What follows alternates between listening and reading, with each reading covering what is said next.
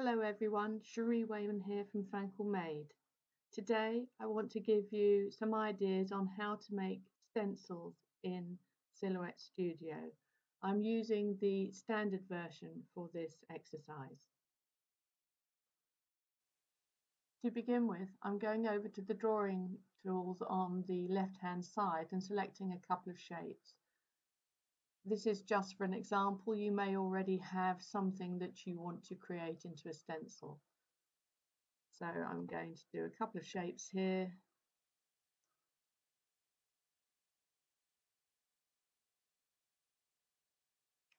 And as you can see at the moment, this one has some options to change shape if I use this little bar here.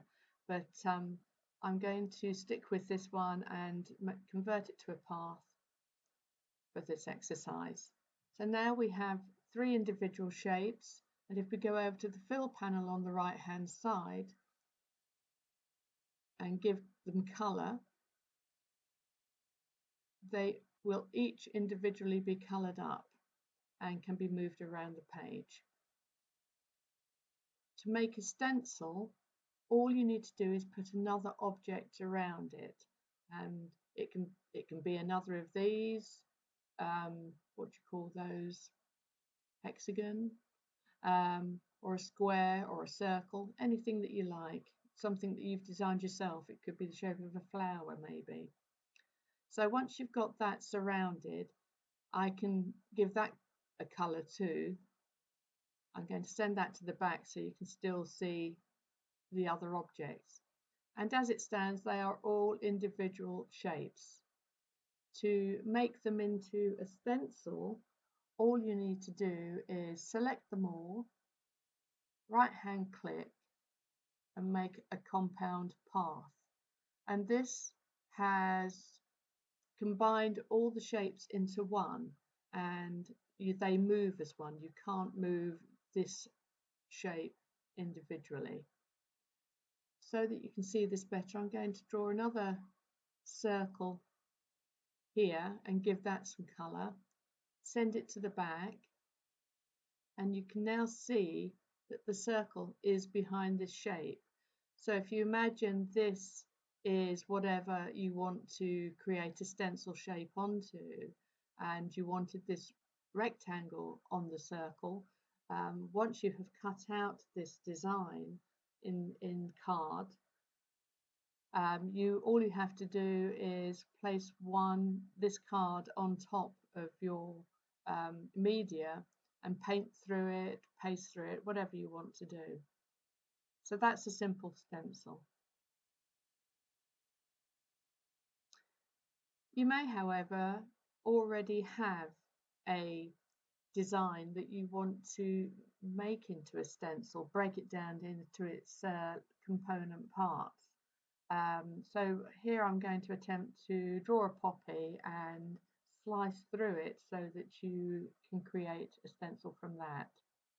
I'm just going to drag these off the page and using the drawing tool over here, the freehand tools, I'm just going to click on that and attempt to draw an outline of a poppy. It's all going to be a bit random, so hopefully it will turn out okay. Okay, just to check that that is a complete design, I'm just going to put some colour in it. Yes, that's worked. Now, from here, I want to create some petals inside.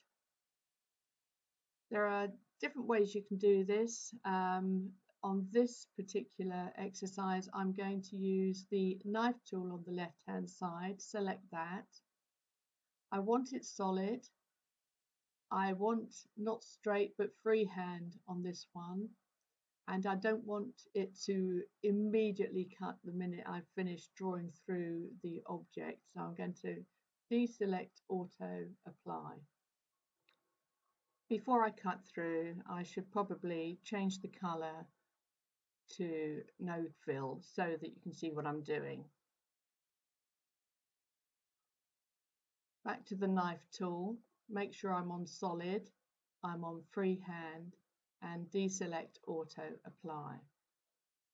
Now I'm going to draw a line from the top left of the poppy and bring it down somewhere over here and then I'm going to do another one ultimately the opposite way. A little bit like a cross but a wiggly line because poppies aren't straight.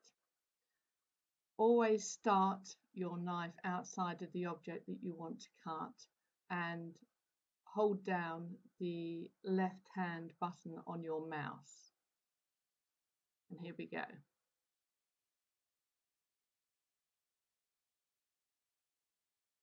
That's the first one. And because I don't have auto apply on and I, I'm happy with this, I can click the apply button. But if I wasn't happy with this, all I need to do is delete it and start again. But I'm going to click apply now. And now we have two halves of the poppy. I'm going to click undo so we both we have them both together again and back over to the knife. Again, check that you're on solid freehand, auto apply is off. And bring in another drawing from the top left down to the bottom, sorry, the top right down to the bottom left.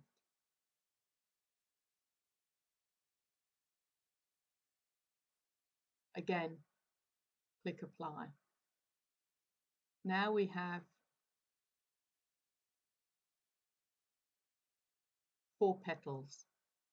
We don't have a centre to the poppy yet, but once you're happy with the distance of the petals uh, in relation to each other, um, I, I just eyeball this, but you might want to be more precise, and we can talk about that in a moment. But once you're happy with the position as such, if we just, for example, colour that in, you can see now that there is a line in between. I'm going to deselect the colour again for a moment, go over to the left hand side and select, select the ellipse and wherever you would like in the centre just draw a little circle. Uh, I didn't do a cut line for this, this is just a circle overlapping all of these petals. If I clicked on the black on the right hand side, you can see it's in front of these petals and that's what I want. I'm going to change that back to clear, select everything again and this time over on the right hand panel you have a modify panel. Click on that and select subtract all and you can see from this icon that everything is going to be cut through. So we click on that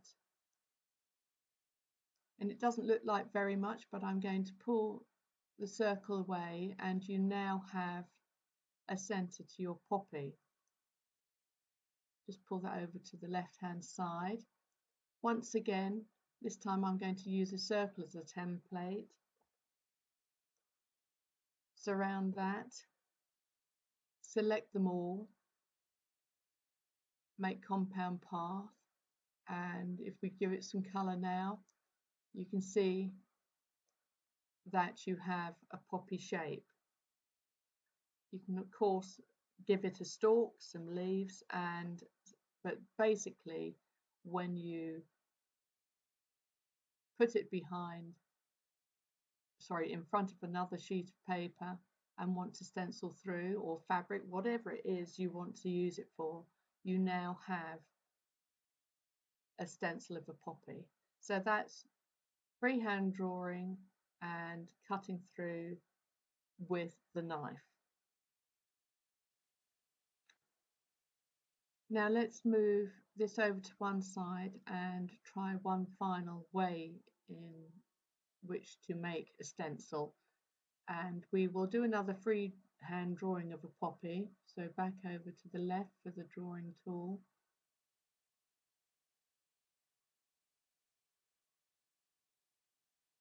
Just make sure that that object is complete and it is. So back to the no fill This time we're going to use the drawing tool again and draw the lines for the petals through the poppy. Just wiggly lines and the other way as well. But these are just lines. They're not cutting through anything and they're not very thick. We want to have something a little wider than that. So if we select both the lines,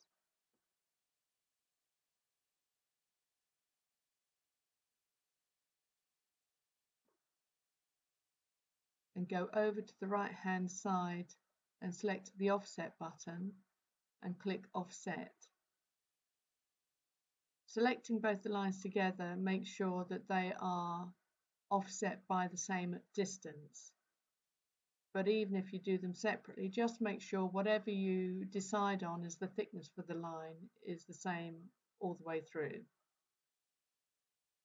Deselect, take out the little original drawing lines and now at the moment we have this object and this object and we want to cut through them. So we're going to use the subtract tool again, select everything, go over to the modify panel, select subtract all and you're seeing something change on the screen. If we take this little line away, you now have your four petals. Bring back over the ellipse and if the ellipse seems to be sitting behind the petals, bring it to the front because what we're trying to do is make this whole circle cut through the petals. If it was behind the petals, the petals will cut through the circle. I'm going to also pull that up a little bit and copy and paste. So we've got two versions of this. I'm going to put the circle behind the petals, centre back. And you can see that it's now behind the petals. If we say subtract all on that, you will see that the petals do not have a centerpiece, but this is now a little X. It may be what you want, but not for this particular purpose. So I'm going to delete these Bring this back into the middle of the screen, subtract all, remove the circle and we now have a poppy petal again. Go over to the objects, select one, draw around it, select everything again, right hand click, make compound path, go over to the colour panel, give it some colour and now you have another poppy with this time the actual lines cutting through the petals being uniform all the way through. So this is the end of the tutorial. I hope you've enjoyed it and if you have please don't forget to like and subscribe to my channel. Thank you and goodbye for now.